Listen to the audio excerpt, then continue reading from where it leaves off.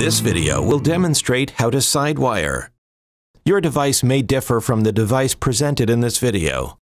Be sure to follow all wiring instructions and diagrams provided with the product. If you're unsure about any part of the instructions, consult an electrician.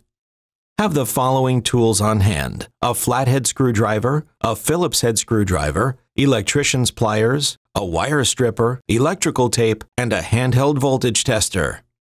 To avoid fire, shock, or death, be sure to turn off the power at the circuit breaker or fuse and test that power is off before wiring a device. Use a handheld voltage tester to confirm that there is no power.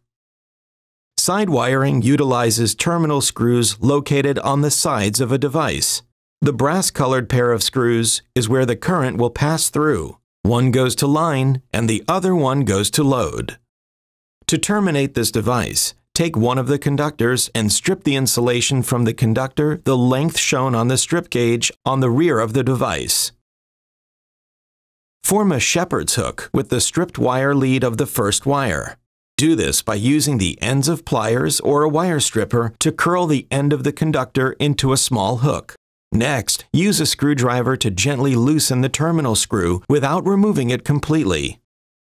Gently wrap the hooked wire underneath the terminal screw, making sure that you secure or anchor it in that cavity. This helps secure the conductor, allowing it to properly nest.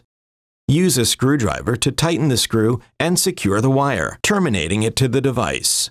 After the two terminals have been terminated, the last step is to terminate the ground conductor, which is the green or bare copper conductor and hexagonal in shape. If you live in a municipality where properly grounded metal wall boxes are used, you may not need to use the ground screw to provide ground to the device. Instead, the brass self-grounding clip will provide necessary grounding. Always check your local building code requirements and be certain to comply. The device is now terminated. For more detailed information on specific termination methods or wiring of Leviton devices, visit leviton.com.